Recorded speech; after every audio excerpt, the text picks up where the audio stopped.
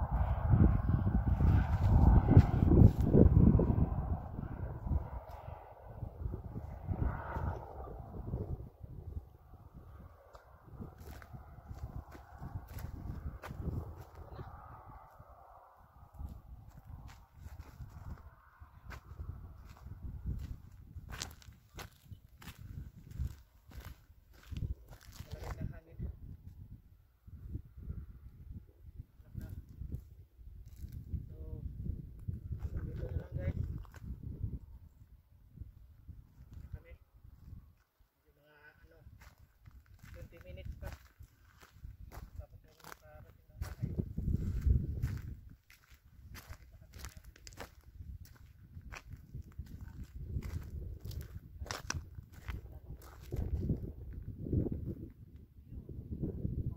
Thank you for watching guys. Bye bye.